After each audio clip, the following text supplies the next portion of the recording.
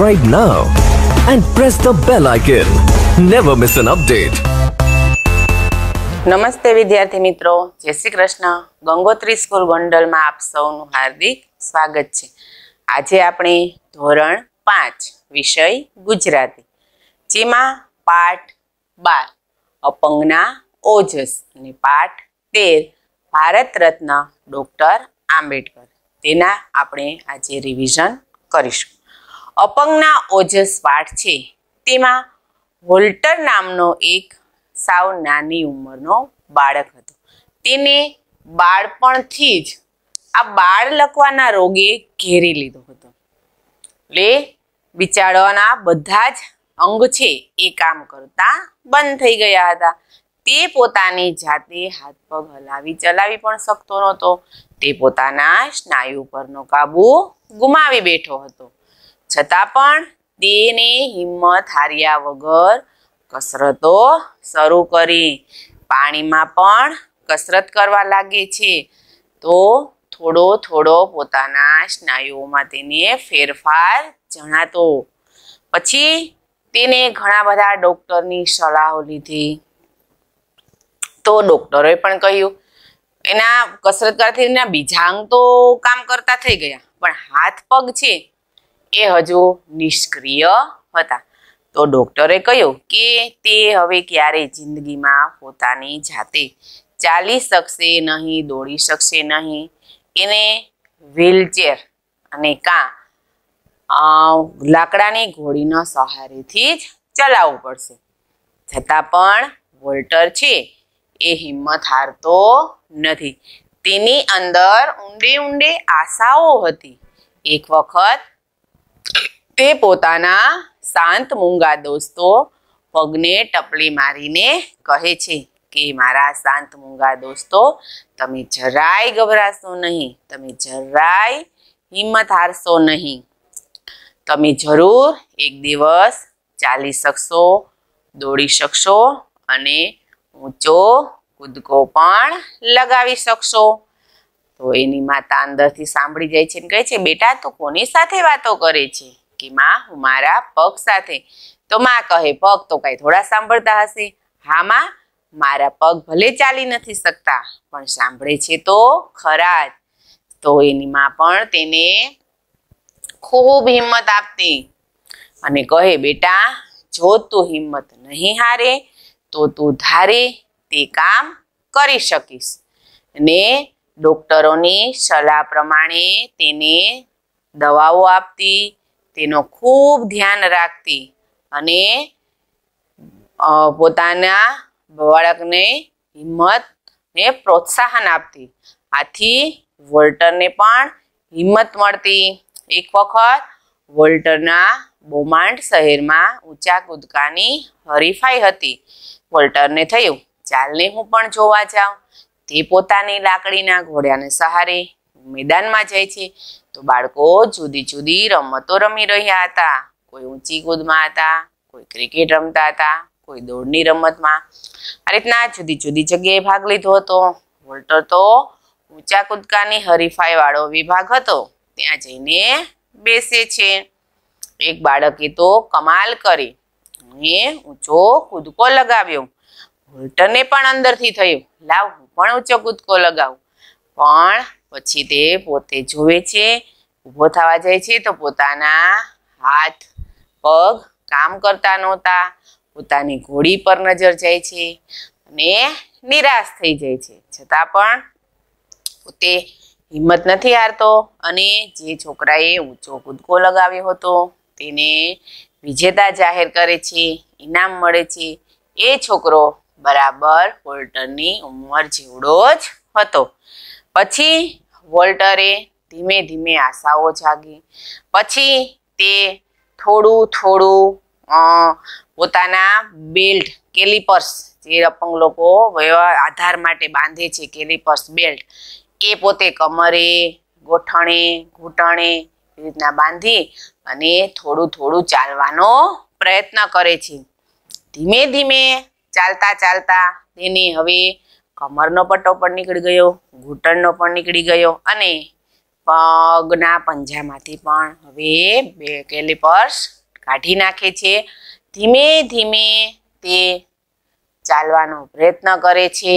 વળી પડી જાય, વળી હિંમતભેર પાછો ઊભો થઈ જાય, વળી પડી જાય, વળી પાછા પોતાના માતાના શબ્દો યાદ કરે કે, જો બેટા, તું હિંમત નહીં હારે, તો ધારે તે કરી શકીશ. એમ કરતા કરતા વોલ્ટર ધીમે ધીમે હવે ચાલવા લાગ્યો. પછી ધીમે ધીમે દોડે છે. આ રીતના દોડતા દોડતા પછી તે જુદી જુદી રમતો પણ રમવા માંડ્યો, દોડવા લાગ્યો. ઊંચા કૂદકા પણ લગાવવા લાગ્યો. એક વખત તે પોતાના બોમાંડ શહેરમાં પણ ઊંચા કૂદકાની હરીફાઈમાં પ્રથમ આવે છે. હવે તે ઊંચા કૂદકાની હરીફાઈમાં ફૂલ પારંગત થઈ ગયો.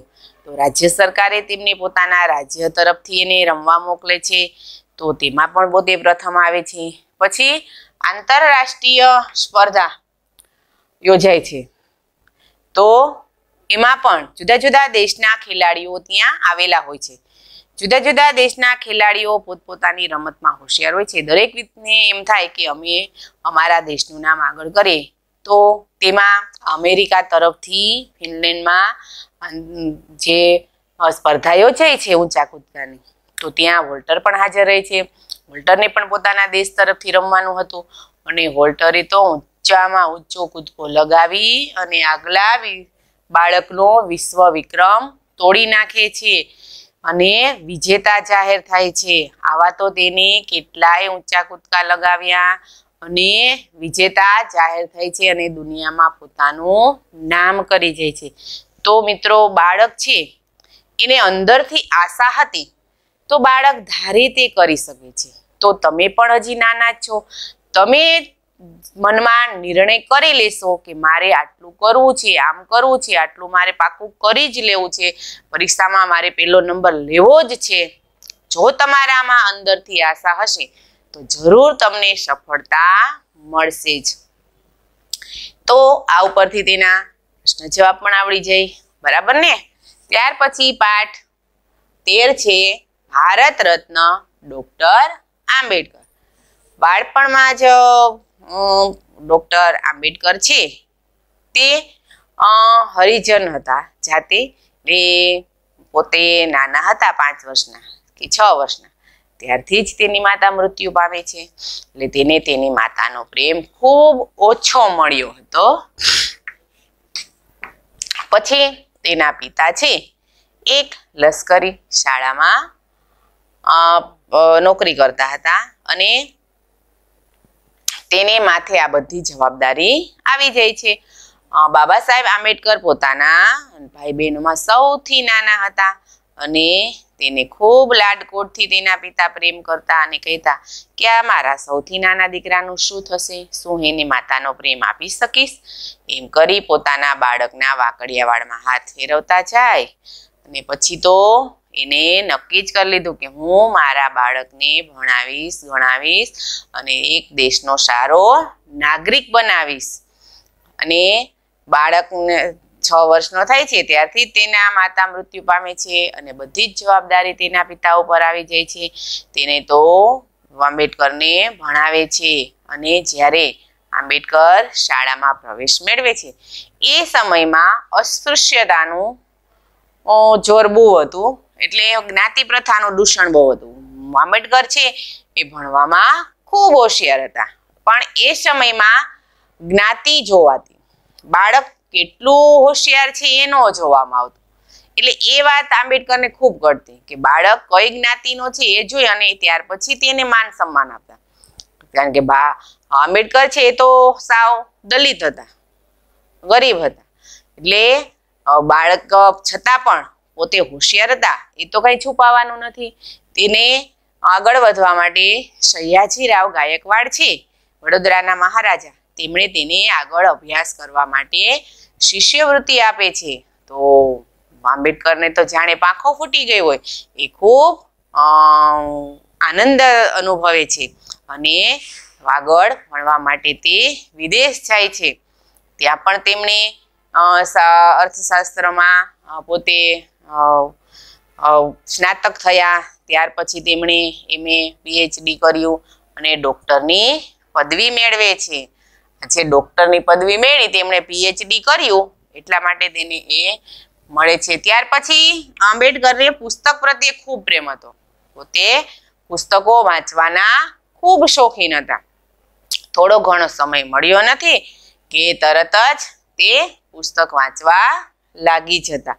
તેમને પુસ્તક પ્રત્યે ખૂબ આશાઓ હતી. ત્યાર પછી આપણા સમાજમાં જે જે દૂષણો હતા પછી સ્ત્રીઓને ભણવાનો ઓછું ભણેલી હતી તો તે સ્ત્રીઓને આગળ ભણવા માટે તેઓ અને સ્ત્રીઓને મતનો અધિકાર પણ ડૉક્ટર બાબા સાહેબ આંબેડકરે જપાવ્યો છે.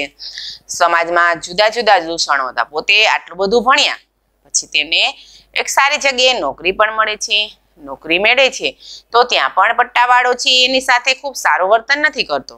એટલે પોતે વિચારે છે કે જો હું આટલો બધો ભણેલો ગણેલો છું અને જો મારી સાથે આવું ગેરવર્તન થાય છે, તો મારા જે ભાઈ ભાંડુઓ છે, જે અશિક્ષિત છે, ભણેલા નથી, તેની સાથે તો શું થતું હશે? ત્યારથી જ તેઓએ મનમાં વિચાર કરી લીધો કે ગમે તેમ થાય, હું મારા જે પછાત મારા મારા જ્ઞાતિબંધુઓ છે, તેને હું અન્યાય તો થવા જ નહીં દઉં. અને પછી પોતે ઝુંબેશ ચલાવે છે અને સામાજિક દૂષણો દૂર કરવા માટે પોતે ચળવળ કરે છે અને ઝુંબેશ ચલાવે છે. તેને ઘણા બધા બધું સાંભળવું પડે છે મોટા મોટા નેતાઓનું. છતાં પણ પોતે હાર માનતા નથી. પોતે જીવનમાં ઘણા બધા મહત્વના કાર્યો કરે છે. સ્ત્રીઓને આગળ ભણવા માટે તેને છાત્રાલયો ખોલાવે છે, જમીનો પણ મફતમાં અપાવી છે. ત્યાં વિદ્યાર્થીઓને છાત્રાલયો બનાવી, મફત શિક્ષણ મેળવવા માટે પ્રેરિત કરે છે. સ્ત્રીઓ પણ ત્યાં આશ્રમમાં, આશ્રમની અને અમુક સંસ્થાઓની સ્થાપના કરે છે. ત્યાં બાળકો પોતાની રીતે અભ્યાસ કરી શકે છે. બાળક, સ્ત્રીઓને જે છોક, વિદ્યાર્થીનીઓ છે, તેની ફી પણ માફ કરી આપે છે. જે છાત્રાલયનું મેદાન છે, તે તેમને મફતમાં મળે છે. પછી અમુક જગ્યાએથી ફાળો એકઠો કરી આશ્રમ માટે તેને મળે છે અને તેનામાંથી તે પોતાના આશ્રમનું ગુજરાન ચલાવે છે. આ રીતના આંબેડકરે ઘણા બધા પોતાના મહત્વના કાર્યો કરે છે અને પોતાના જીવનમાં ત્રણ વ્યક્તિઓનો પણ ફાળો છે. ગાંધીજીની સાથે રહી અને વિનોબા ભાવે સાથે રહી તેમને ઘણું કામ કર્યું છે. તેમને અનુસરી અને તેઓ આગળ વધ્યા છે. તો પોતે પોતાના જીવનમાં કયા કયા મહત્વના કામો કર્યા છે, સ્ત્રીઓ પ્રત્યે સ્ત્રીઓને કઈ રીતના અભિ- અભિમુખ કરી છે અને સામાજિક દૂષણો. આ બાબતો વિશે તેમને ઘણું બધું આ પાઠમાં આપણને સમજ તેમને જીવનમાં ઘણા બધા કાર્યો કરે છે અને તેમને મરણોત્તરનો પારિતોષિક પણ આપવામાં આવેલો છે આંબેડકરને. તો એમને આપણા બંધારણના ઘડવૈયા તરીકે પણ આપણે બાબા સાહેબ આંબેડકરને ઓળખીએ છીએ. તેમને સ્ત્રીઓને પણ ઘણા બધા હક મળે, સ્ત્રીઓને સત્તા સ્થાને પહોંચે. અત્યારે જેમ ચૂંટણીમાં એમાં સ્ત્રીઓ ઊભી રહી શકે છે. પહેલાના જમાનામાં ઊભા નહોતા રહી શકા. તો એ રીતના સ્ત્રીઓ શિક્ષિત બને, આગળ વધે.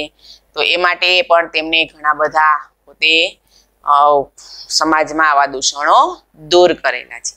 તો વિદ્યાર્થી મિત્રો, પાઠ અ, તે ડૉક્ટર બાબા સાહેબ આંબેડકર અને પાઠ બાર અપંગના ઓજસ વોલ્ટર.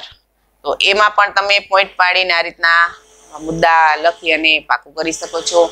અને આંબેડકરમાં પણ આ રીતના જો મુદ્દા રાખી અને તમે પાકું કરશો તો તમને બધું જ બાબતો પાઠમાં આવેલી વ્યવસ્થિત રીતે સમજાઈ જશે અને રિવિઝન કરવામાં પણ મજા આવશે.